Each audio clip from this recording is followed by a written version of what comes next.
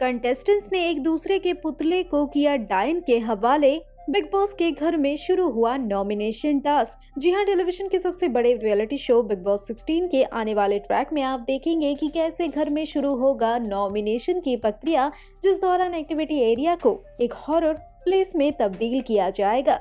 और इस बार डाइन बनाएँगी घर वालों को अपना शिकार। जिस दौरान कंटेस्टेंट्स को आगे आकर ये बताना होगा कि आखिर वो किसे करना चाहती हैं नॉमिनेट या फिर किसे करना चाहते हैं नॉमिनेट फिर उस कंटेस्टेंट्स के नाम का पुतला डालना पड़ेगा।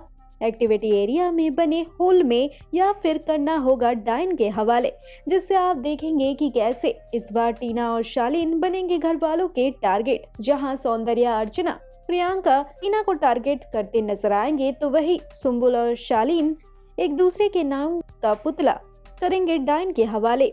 वेल अब ये देखना बाकी बेहद इंटरेस्टिंग होगा।